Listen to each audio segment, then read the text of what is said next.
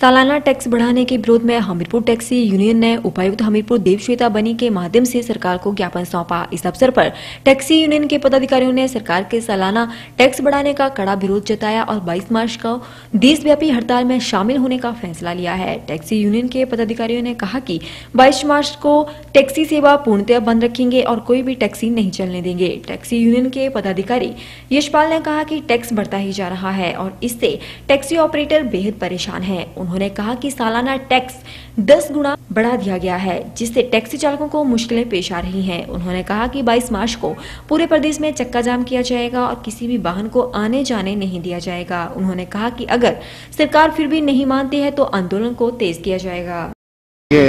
ये जो सरकार हमारा वन टाइम टैक्स कर रही है, जैसे छोटी गाड़ियों को पच्चीस हज़ार हो रहा है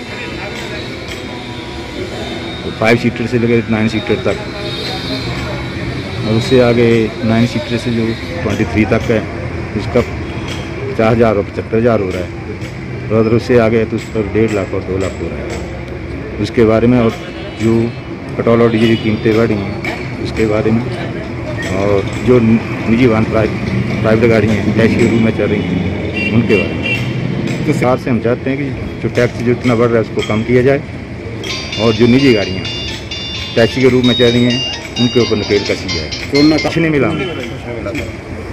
तीन सौ रुपये की कटौती की वो कोई रात नहीं है। रात उसके बाद देखते हैं प्रदेश भर में बाईस को हम चक्का जाम कर रहे हैं टैक्सी का जो कमर्शियल व्हीकल जितने भी हैं उनको। हम रोकेंगे। और जो प्राइवेट गाड़ियाँ चल रही हैं उनको भी रोकेंगे।